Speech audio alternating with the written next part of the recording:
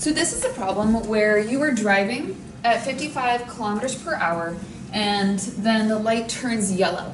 And you are told that you need to figure out whether you should proceed through the intersection or if you should stop. So this is from chapter 2, number 38. And part A tells you that you have 40 meters to stop and the light turns red in 2.8 seconds. Part B tells us that you have 32 meters to stop and the light turns red in 1.8 seconds. And so for both situations, we have to say, is it possible to stop? Is it possible to keep going? Or are both okay or are neither okay? So the first thing we need to do is we recognize that we are told this acceleration. It's a magnitude of 5.18 meters per second squared, it's, but it's a negative acceleration because you're decelerating. And so since that's in meters per second squared and your velocity is in kilometers per hour, we first have to change our units so that everything is in meters and seconds. So I start with my 55 kilometers per hour, my kilometers cancel out here, my hours cancel out here, and we find out that our initial velocity is actually 15.28 meters per second.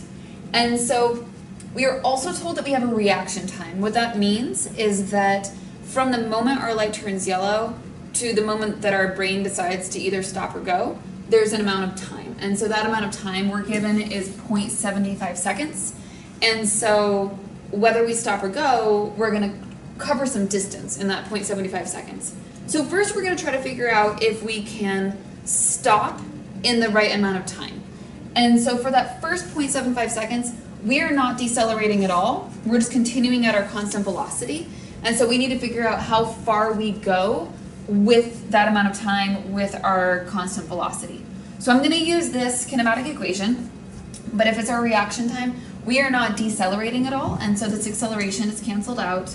And so my distance um, is going to equal to my velocity times time. So that's 15.28 meters per second times 0.75 seconds. And so if you work that out on your calculator, you find that you travel 11.46 meters in that first bit of time. So that is helpful for us to figure out uh, the total distance that we're going to travel while we're trying to decelerate at this rate. So we do not know how long it's necessarily going to take us to stop. So I chose a kinematic equation that does not have time embedded in it. And so we'll just go through and we'll put in all of the, the variables that we know. So my final velocity is going to be zero because I'm going to attempt to come to a stop. My initial velocity is that 15.28 meters per second. Don't forget to square it. And then plus 2 times our acceleration. And of course, your acceleration is negative. So 5.18 meters per second squared. My uh, distance, so my final distance is what I'm trying to solve for, so that's x. But our initial distance is where we ended from our reaction time. So that was our 11.46 meters. If you chose to just solve for the, the change in x, and then later add on the 11.46, that works in exactly the same way, and that will be fine.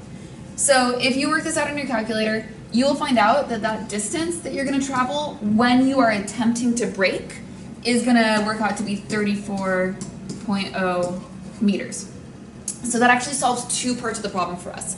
That tells us that we are able to stop within 40 meters because we stopped in 34 meters, but we are not able to stop in 32 meters because we are now into the intersection a little bit.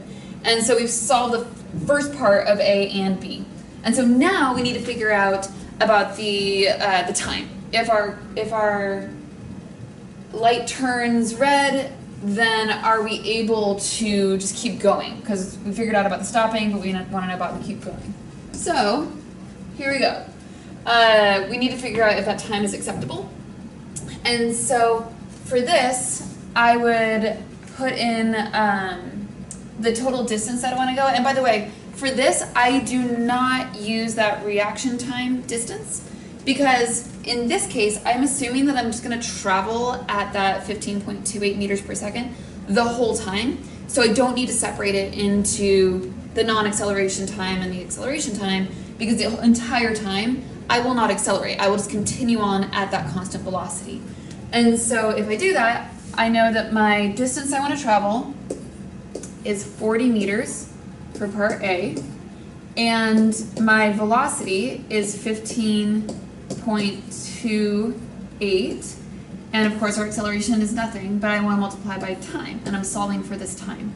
And so if I do this, I find out that this uh, time is 2.62 seconds. What that means is that after 2.62 seconds, I've crossed over into the intersection, and so since it takes 2.8 seconds for my light to turn red, I've made it and I'm not breaking the law. And so this also works out okay. So now we'll solve it for part B. I'm only able to travel 32 meters, so it's a bit of a shorter distance. And then my velocity is the same. It's 15.28 times my time. And of course, this is again zero because we're not accelerating or decelerating. And so if I work this out, I find out that my time is about 2.09 seconds, which means that after 2.09 seconds, I'm finally into the intersection. However, my light already turned red after 1.8 seconds. And so this does not work either. And so both parts of part B don't work, both parts of part A do work, and that's our final answer. There's a common misconception here though. Some people try to work this out using this equation, and their reasoning is that they're saying, oh, well, my final velocity is zero, my initial velocity is 15.28, and I know my acceleration, it's negative 5.18 and so I'll solve for time. And they the logic here, I think, is that they're saying, oh, well, if I'm decelerating, I can figure out how much time that's going to take me, and then if it's too much time, then I know that it's wrong. And I think that if you solve for this, you end up with your time equaling about almost three seconds, 2.94 seconds. And what some students say is that that's too much time, and so therefore this wouldn't work.